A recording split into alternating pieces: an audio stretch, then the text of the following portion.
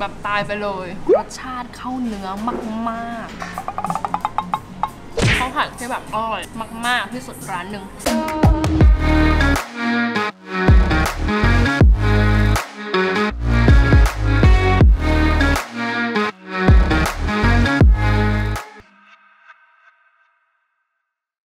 ฟ้ากินอร่อยวันนี้ขอบอกว่า กิ้งอร่อยสุดๆเลยค่ะ ร้านที่ฟ้าจะพาทุกคนมาวันนี้นะ เป็นร้านขายอาหารจานเดียวที่ค่อนข้างยูนิคไม่เหมือนใคร เชื่อว่าหลายๆ คนเป็นนะคะ อยากกินอาหารอร่อยๆสักจานไม่อยากสั่งหลาย ๆ อย่าง แต่ก็คือฉันอยากได้ของที่อร่อยๆอะอยากกินง่ายๆ สักจานหนึ่งจบอะไรอย่างเงี้ยร้านเนี้ยฟ้าค้นพบจากแอป Delivery แอปหนึ่งนะคะ ฟ้าเป็นคนชอบแบบสรรหาของกินอร่อยๆแล้ว เห็นแบบมันขึ้นแบบว่าเอ้ยร้านนี้อร่อยยอดเยี่ยมก็เลยลองสั่ง และหลังจากนั้นคือสั่งมากินบ่อยมาก ครั้งนี้เป็นครั้งแรกที่ฟ้าจะได้มาลองกินที่ร้านนะคะคือสั่งกลับบ้านยังอร่อยขนาดนี้อยากรู้ว่าที่ร้านจะอร่อยขนาดไหน ตามไปชิมพร้อมกันค่ะไม่ได้ชิมดิเคยกินแล้ว ตามไปกินที่ร้านพร้อมกันค่ะ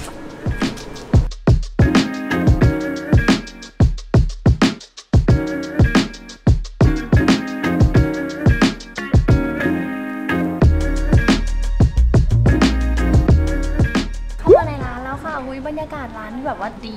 มากๆ ด้วยความที่ฟ้าแบบขี้สงสัยหรือว่าขี้เสือ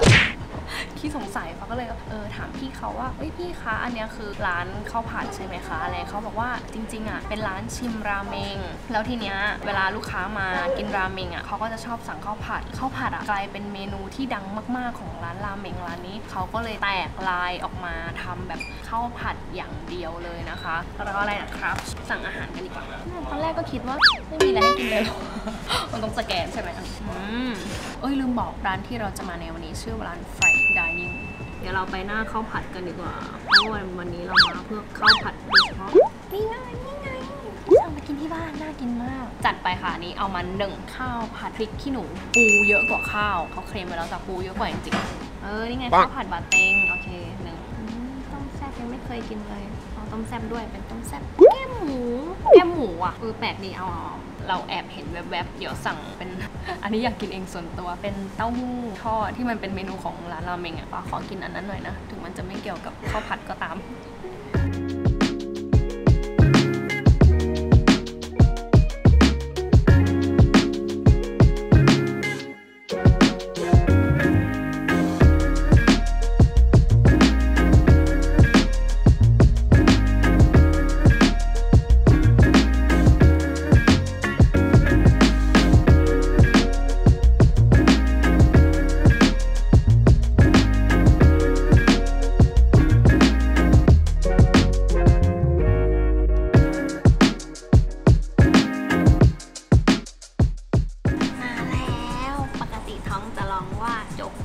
ต่ตอนนี้ท้องร้องว่าข้าวผัดข้าวผัดข้าวผัดตื่นเต้นค่ะ เพราะว่ากินที่บ้านก็คืออร่อยอยู่แล้วร้อยเปอร์เซ็นต์มากินที่นี่ไม่รู้จะอร่อยแบบไปถึงไหนอย่างเงี้ย คือมันแบบว่าได้กินตอนที่เขาผัดใหม่ๆ สดๆเลยค่ะฟังคือน้ำลายไปไหลอึกแล้วฝากขอชิมเลยแล้วกันนะคะอืมอันนี้ก็คือข้าวผัดบะเต็งนะคะ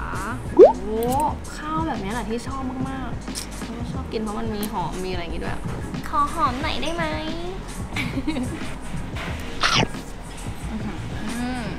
แบบตายไปเลย นี่ฟ้าขอโชว์บะเต็งให้ดูหน่อย เรียกได้ว่าฟ้าเป็นแฟนคลับบะเต็งได้เลยนะ เพราะฟ้าชอบกินแบบอารมณ์คล้ายๆหมูหวานอะไรเงี้ย เนี่ยจะบอกว่าที่เนี่ยเขาหมักมาอย่างดี หมักได้แบบรสชาติเข้าเนื้อมากๆรสชาติมันเข้าไปจนถึงแบบว่าเนื้อในสุดท้ายเลยอะอืมไม่หวานเกินด้วยค่ะ อร่อยกำลังดี แล้วก็พอกินเข้าไปกับข้าวผัดแตงกวาหอมซอยก็คือแบบสุดๆไปเลย ข้าวผัดที่แบบอร่อยมาก ๆ ที่สุดร้านหนึ่งเดี๋ยวเรามูฟมาที่ตัวเด็ดข้าวผัดปูเขาเค็มไว้ว่าปูเยอะกว่าข้าวนี่นะคะ อันนี้ก็คือเด็ดที่สุดในร้านแล้วนะคะอันนี้ขอแอบเอาออกก่อนว่ากลัวมากลูกโดดเนี่ยกินเข้าไปทีว่าแบบโอ้โห นั่งร้องไห้ไม่ต้องกินต่อพอดีนี่มาดูค่ะปูเน้นๆเลยโอ้โหปูจะเยอะกว่าข้าวจริงๆ ก็คืออันนี้ท็อปมาใช่ป่ะแล้วข้างในก็ยังมีปูอีกด้วย เยอะมากๆข้าวผัดปูหรือว่าปูผัดข้าวคะอัน อันเนี้ยคนละฟิลเมื่อกี้อะอันนี้แบบมีความแบบหอมกลิ่นทะเลทะเลแล้วมีความแซ่บๆมันเป็นข้าวผัดปูผัดพริก เออแล้วก็อีกเรื่องหนึ่งฟ้ารู้ว่าฟ้าพูดเรื่องเนี้ยบ่อยมากๆ แต่อยากให้ดูข้าวของเขานะคะ เขาใช้ข้าวอย่างดีมากๆฟ้าก็ไม่รู้ว่าเขามีวิธียังไงนะ แต่แบบว่ามันเป็นข้าวผัดในสไตล์ที่ฟ้าชอบก็คือไม่ได้เป็นข้าวผัดที่แบบเละๆใหญ่ๆมันเป็นข้าวผัดที่เป็นข้าวร่วน สุกกำลังดี แล้วก็เป็นข้าวหอมมะลิด้วยนะคะ เราคนไทยอะเราก็รู้ใช่ไหมเรากินข้าวกันมาหลายร้านมาก ปัญหาเนี่ยเป็นปัญหาที่เจอเยอะมากในร้านข้าวหลายๆร้านที่แบบไม่บูลลี่นะเขาก็ใช้ข้าวเกรดไม่ดีอะแต่แบบเรากินทั้งที่เราก็อยากให้อร่อยอะแล้วร้านนี้ก็คือแบบตอบโจทย์ฟ้ามากๆ ใช้ข้าวดีแล้วก็เป็นข้าวผัดในสไตล์ที่ฟ้าชอบนะคะ ถ้าชอบมากก็ต้องกินอีกแล้วก็ทีเด็ดที่ฟินกว่านั้นก็คือนี่น้ำจิ้มซีฟู้ดมาอือนี่แหละจ้า อืมเมื่อกี้ที่บอกว่าได้กลิ่นทะเลอะกลิ่นทะเลแบบสดนะจ๊ะหอมๆไม่ได้กลิ่นทะเลแบบคาวเลยปูก็คือเนื้อนุ่ม เนื้อล้วน ไม่มีเศษกาบอะไรแบบกวนใจเราอะที่มันเป็นแบบเหมือนพลาสติกหรืออะไรเงี้ยเขาทำออกมาได้ดีจริงๆ อยู่กับฟ้ามาหลายปี ทุกคนก็รู้ว่าสิ่งที่ฟ้ารักมากที่สุดเวลาที่ฟ้ากินพวกอาหารผัดๆอะก็คืออะไร คือความวอกเหคือฟ้าเป็นคนชอบในกลิ่นกระทะมากๆ เวลายิ่งข้าวผัด อะไรที่มันมีกลิ่นกระทะนี่คือจะทำให้ความอร่อยของเรียบพุ่งไปแบบเลเวลร้อยเลยอะคืออันเนี้ยเป็นข้าวผัดที่โคตรวอกเหที่สุดเท่าที่กินมาเลยจริง ๆแล้วมันทำให้ข้าวแบบหอมกรุ่นมากๆ คือมันพูดไม่ถูกเข้าใจป้ามันมีความแบบ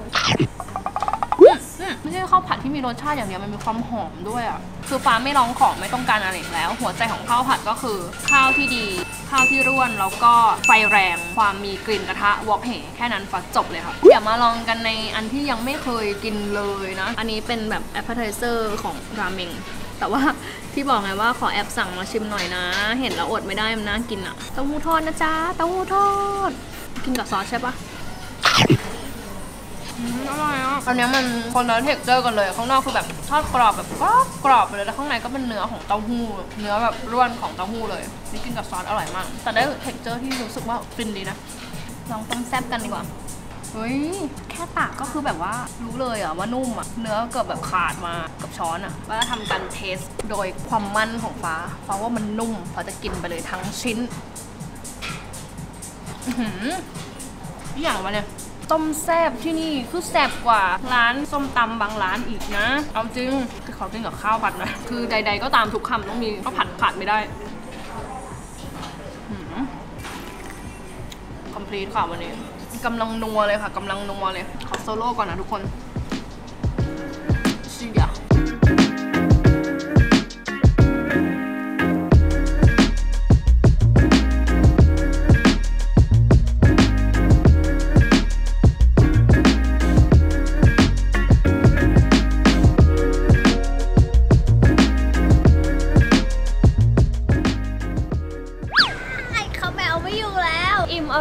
มาก ๆ เลยนะคะ มื้อนี้ก็อยากสรุปสำหรับร้าน Fried Dining นะคะ คุ้มค่าคุ้มราคากับเงินที่จ่ายไป ราคาจะอยู่ที่ประมาณแบบว่าจานละร้อยอะไรเงี้ยแต่ว่าสิ่งที่เราได้มาก็คือคุณภาพที่ดีอาหารที่อร่อยแล้วก็ปริมาณที่เยอะอิ่มท้องเลยนะคะ ตากล้องฟ้าเมื่อกี้พอเราพักถ่ายแล้วก็กินกันนะคะ เขาแอบมากระซิบฟ้าบอกว่าเฮ้ยยูอันเนี้ยตั้งแต่มาอยู่ในประเทศไทยอะอันเนี้ยเป็นข้าวผัดที่ไอคิดว่าอร่อยที่สุดแล้ว เออ เอาดีอย่างนี้ต้องมาลองกันแล้วนะคะ แล้วก็เมื่อกี้ฟ้าด้วยความที่อยากรู้อีกแล้ว คือแบบว่าอยากรู้ว่าพี่คะทำไมมันแบบว่าข้าวผัดที่เอามาทำอะทำไมมันร่วนได้ดีขนาดเนี้ยเพราะหนูเคยกินแบบว่าตามทั่วไปมันจะเป็นแบบว่าข้าวแฉะแย่ๆเวลากินไปแล้วมันข้าวรสชาติก็ไม่ได้เข้าไปในตัวเม็ดข้าวด้วย ซึ่งเขาก็บอกมาว่าทางร้านนะคะจะหุงข้าวแล้วก็เหมือนเอาข้าวเนี่ยทิ้งไว้ข้ามคืนก่อนคืนหนึ่งก่อนที่จะมาผัดไอ้แล้วก็อ๋อมันเป็นอย่างนี้นี่เองก็เวลาผัดอะเขาย้ำกับฟ้ามากว่าไฟแรง high flame เท่านั้นแล้วก็แบบผัดเร็วๆเลยค่ะ แล้วมันก็จะได้ความหอมกลิ่นกระทะแบบนั้นแหละ ถ้าใครที่ชอบการกินข้าวผัด หรือว่าการกินอาหารที่มีกลิ่นกระทะแบบฟ้านะคะ ฟ้าแนะนำเลยว่าต้องมากินร้านนี้ให้ได้กับ Fried Dining มี 2 สาขานะคะ จะมีที่ฟ้าอยู่ที่นี่ก็คือสุขุมวิท33เดินทางง่ายมากๆ จะรถไฟฟ้าขับรถมาอะไรก็ได้นะคะ เข้ามาอยู่กับร้านเนี่ยค่ะซิมราเมง นะคะ อีกร้านหนึ่งก็คือที่อารีนะคะ จะเป็นอยู่ตรงโรงพยาบาลวิมุตค่ะ คือเป็นร้านอาหารของโรงพยาบาลวิมุตเลยอยู่ชั้น 2 นะคะ ก็ฟ้ากินอร่อยทุกร้านที่ไปก็คือแบบการันตีแล้วว่าอร่อยจริงนะคะ ไม่จริงก็ไม่ถ่ายแหม